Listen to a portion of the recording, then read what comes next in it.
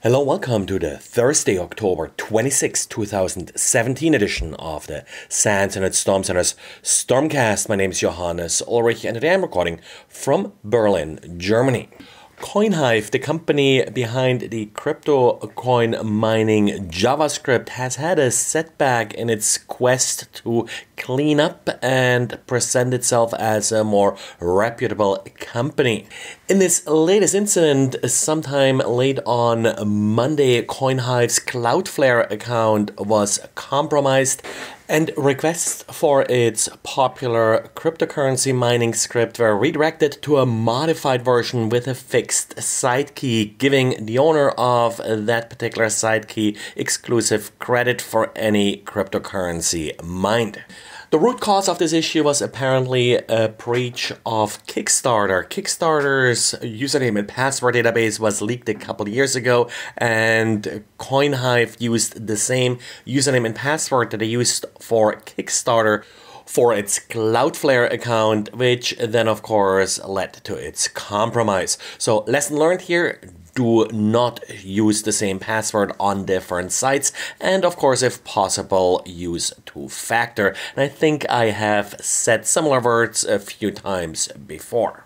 And if you own a Dell PC, then you may be familiar with Dell's backup and recovery service. This is a service that you can use to restore your system to factory default. And essentially, what it does is it does a backup uh, recovery disk for your operating system and pre installed software.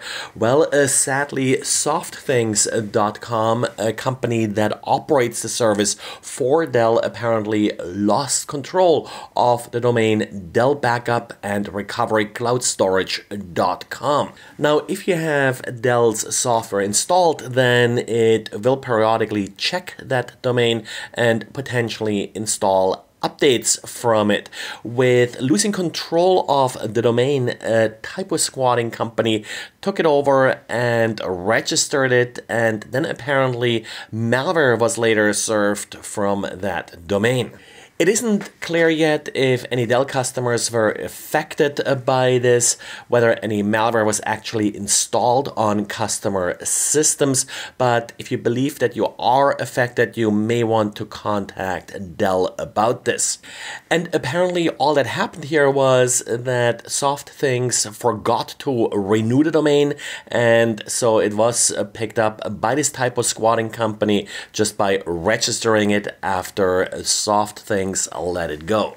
Now, the article by Brian Krebs mentions a couple other cases where similar issues happened. If you do register a domain, if you do include that domain name in documentation or in software, then you pretty much have to be ready to hold on to it. And well, uh, typically it's not really all that expensive uh, to hold on to a domain for a few extra years.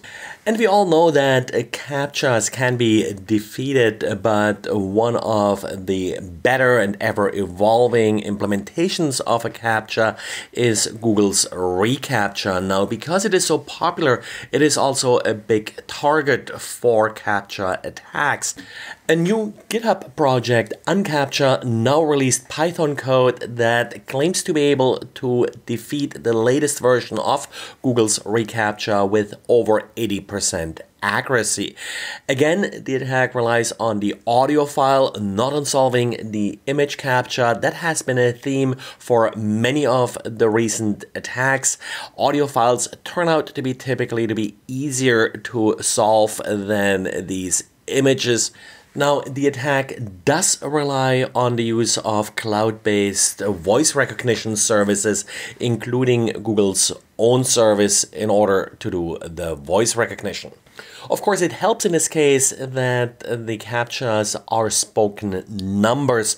So one of the tricks they're playing here in the code is that they're looking for words that sound like numbers. So numbers are often recognized as words by these speech recognition engines, and these lists are then used to improve the accuracy of the final result by mapping words that sound like numbers back to the number they're likely representing.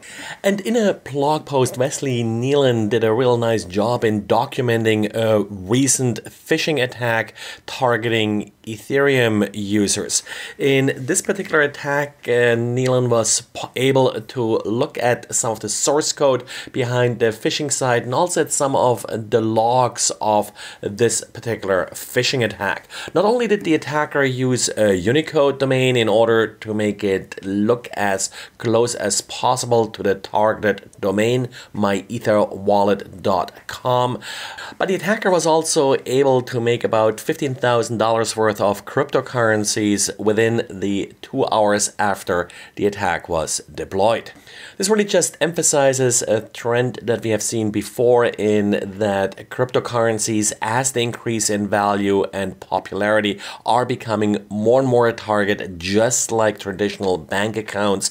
And of course, since many of these systems do not necessarily deploy the same safeguards as you find them in traditional banks, they tend to be somewhat more vulnerable.